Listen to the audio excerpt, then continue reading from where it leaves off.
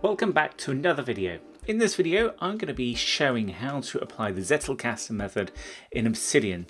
In my previous video, I covered an overview of the different components of the Zettelkasten, where you've got the fleeting notes, the literature notes, the permanent notes, how you link those together so that you can use it to, to create new ideas, new thoughts, new connections, and ask questions against your slipbox. In this video, I'm going to show how to assemble that using Obsidian. So here I have a brand new Obsidian Vault. And if you're not familiar with Obsidian, it's basically a markdown editor that allows you to connect notes together in what we call linked thoughts. And it's a file system based application where your notes are stored in Markdown and you can organize them in a structure and use tags and links and embed notes in others.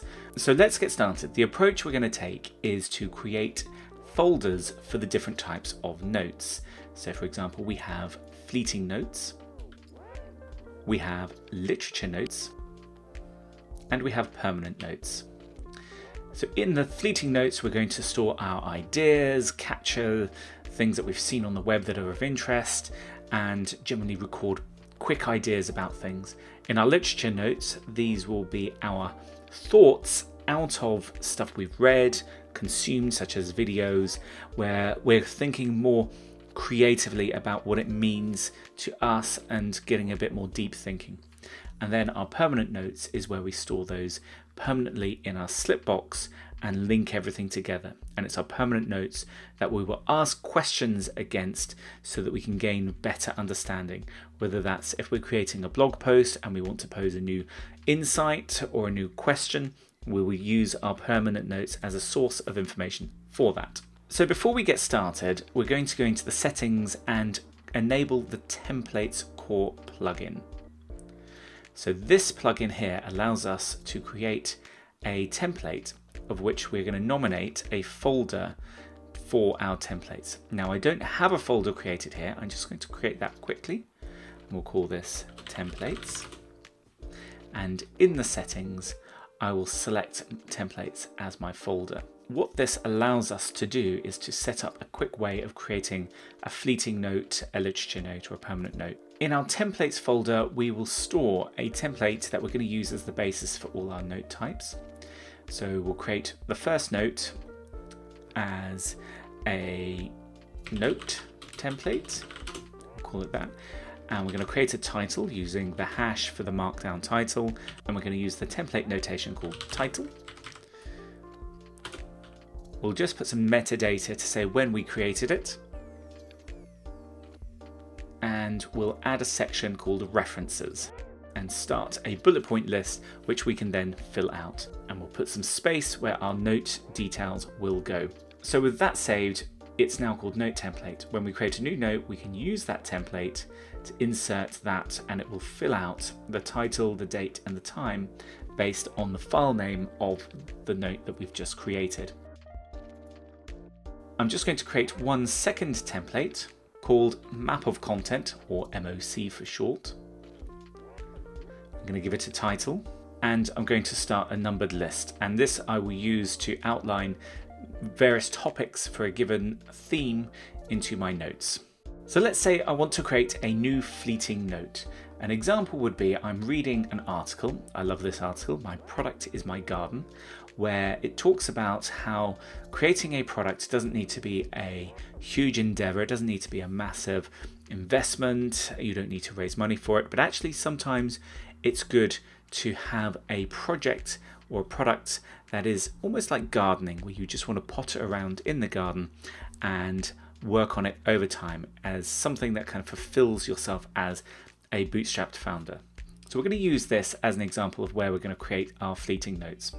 So the first thing I'm going to do, I'm going to copy the URL for this and we'll create a fleeting note in here called my product is my garden. And I'm going to insert the template called note template. Now we've filled in the details that we created here and I'm going to create a reference here, just put the link in so I know where it came from. And this is where I would now read the article and just create very quick kind of snippets out of it. I would highlight things and we'll do that very quickly and then we'll take that through into literature notes. Okay, what I've done here is I've just captured some highlights from this article and I've put them into this fleeting note. So now I don't need to re reference the original article in its entirety. I can just look at this note and get a summary of the bits that were of relevance to myself. So next we want to create the literature note that goes with this. And I'm going to call it My Product is My Garden again. I'm going to insert the template, note template, and I'm going to split my view vertically so that I can have my original version here and I can now put my individual thinking around these points that I've highlighted. So I'm going to do that now and then we'll take that through to permanent notes.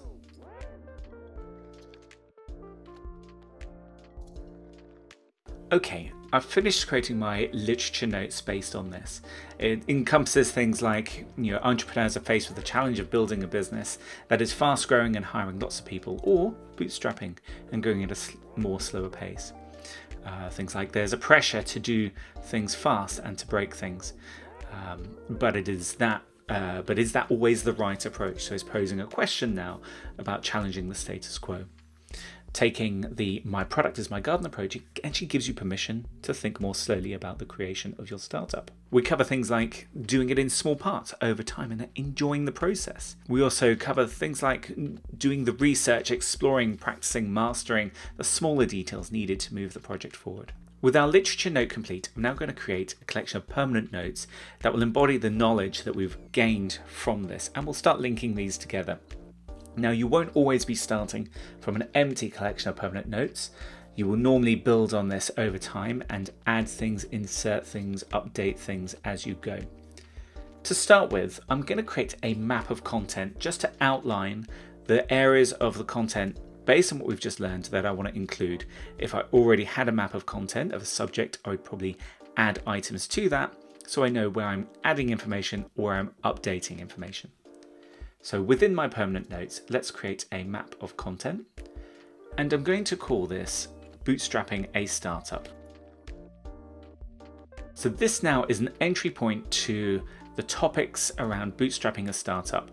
I'm going to use the new template called Map of Content, and I'm going to start outlining the areas that I want to encapsulate now in my permanent notes. The first one I'm going to do is what is bootstrapping? One thing I want to do next is to be able to just create these notes directly by either control or command clicking.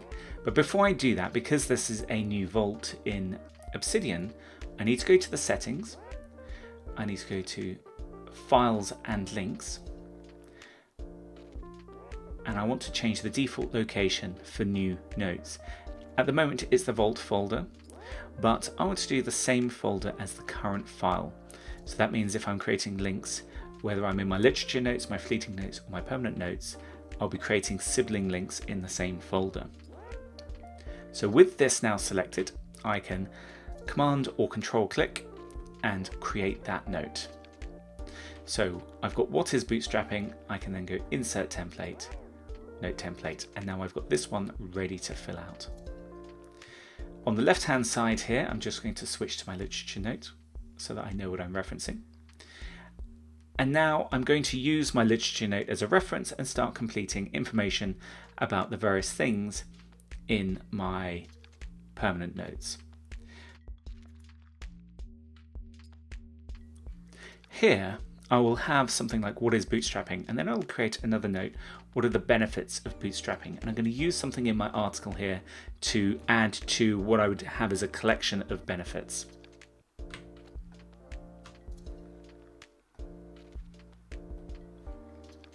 Because I'm going to be using it as a source, I'm going to add it as my references. So I'm going to use the double brackets and I'm going to use my product is my garden literature note. So now I've got traceability of where this idea came from back to my original note here. And in fact, I'm also going to add a reference here to the fleeting note. My product is my garden. So I've now got full traceability of where those ideas came from.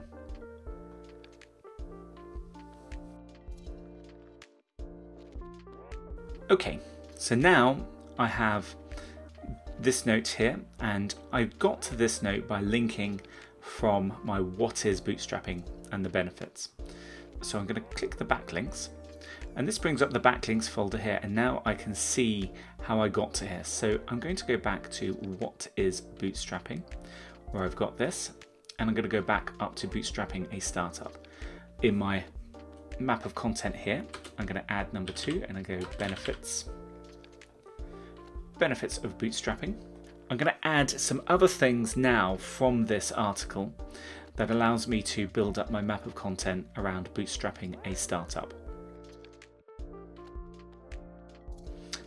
Okay, I'm just going to add two more notes into my collection here. So the first one is skills required to bootstrap a startup. And again, using my literature note, I'm going to fill out the information that I've gained from here into my permanent note. So I've encapsulated a few points here around bootstrapping and the skills required. And I'm going to create a reference to this literature note so that I've got full traceability back to where the ideas originated. Now that I've completed this note, I can go through and complete the final one, which I've got goals for bootstrapping a startup.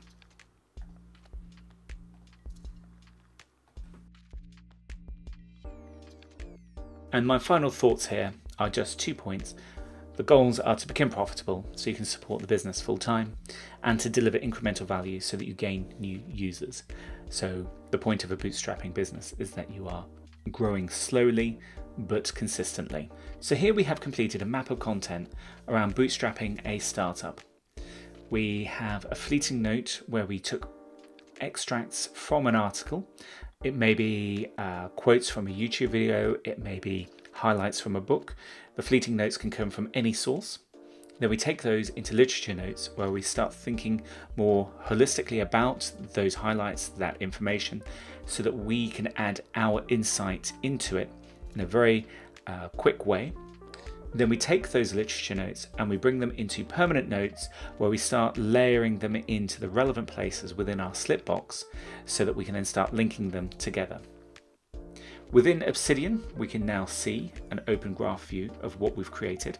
This is a great way for us to see how different topics relate to other topics and where we may have gaps or we may have uh, too many links coming from a particular area that sort of dilutes the ability to get meaning out of those links. So the final part of this video is now thinking about what you can do with this knowledge now that you've got it. So let's create a new folder and we'll call this projects. Within the projects, we may want to create a blog post that we want to publish, or it could be the script for a YouTube video. And we want to use our permanent notes as a source of inspiration so that when we start writing, we're not doing it completely from scratch.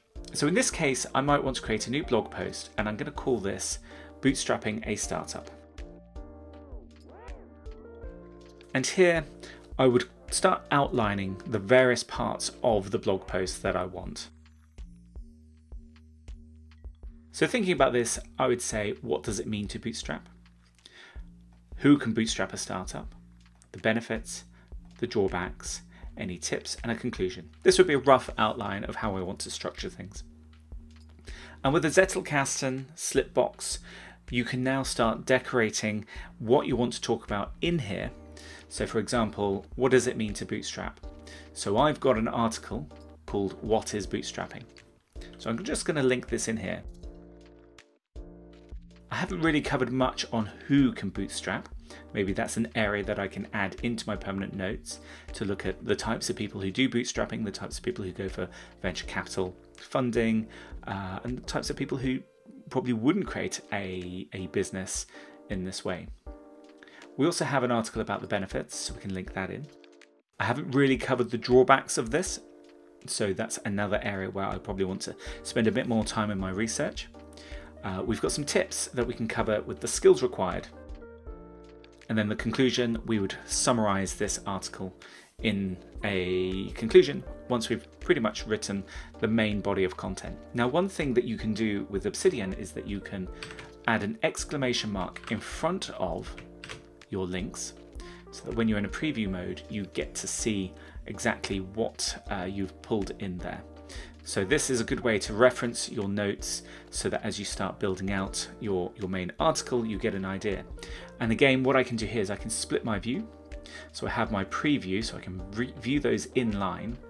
And then over on the left side, I can edit this. So an example of this would be uh, where I now start writing a first draft about bootstrapping in the way that I'm talking to an audience member for my blog. So here's an example of where I may introduce the topic of bootstrapping as a start, startup where you create a business that is fully self-funded. Often founders will do this in their spare time while they're working for another company. Now we won't go into too much detail about the copywriting of writing an article in here, but as you can see you can create your drafts here and when you want to clean it up you can just remove the exclamation marks and now you, you can see the individual sections of what you are writing. So in conclusion, I hope this has been a great overview of how you can take the Zettelkasten method, where you can take fleeting notes, literature notes, link them together with permanent notes, and then create projects from them where you get to ask questions about your Slipbox, about an insight that you have, and then you can use it to create blog posts, YouTube videos, and various other kind of creative outputs, where writing is predominantly the main output of what you do. One of the main benefits of this is that you get to really test your understanding by writing. It allows you to see the links and the gaps in your understanding and essentially uh, find the places where you need to create more insight, more understanding, bring in more articles and research and books into your fleeting notes and literature notes and start building up your permanent notes over time. Now, as I finish up this video, I would just like to share with you what I'm working on. It's my own note-taking app called Flowtelic, and the idea here is that it helps you study, learn, think, write, and publish with maximum efficiency and consistency. So, as I explore this whole Zettelkasten method and note taking in general, there's a lot of ideas that I've got around the workflow that I want to improve on, most notably around doing things consistently and building up your Slipbox over time. So, this is the app where I would create study notes, ideas, I can organize those into what we call the archive, create projects, and track other things like uh, books that I'm reading and people. The idea here is that the workflow is going to be completely configurable, but the most important thing that I'm very excited with this product is the focus mode, where you get to do small amounts every day and compound it over time. So the knowledge that you put into your Slipbox, the books that you read, the articles you read, they're only as useful as how consistent you are at doing it. And this is where I want Flowtelic to really shine, where daily you create study sessions, organize your ideas and notes, and work on your projects. And you'll be doing different things at different times. So projects you work on in one day, maybe from notes that you've created two or three or four weeks ago. And then the idea is that you get to create work out of it, you get to blog from it, and you get to publish that work. And that's a really great way to build your own audience around the topics that you love, find your tribe, and really improve your note taking and your understanding.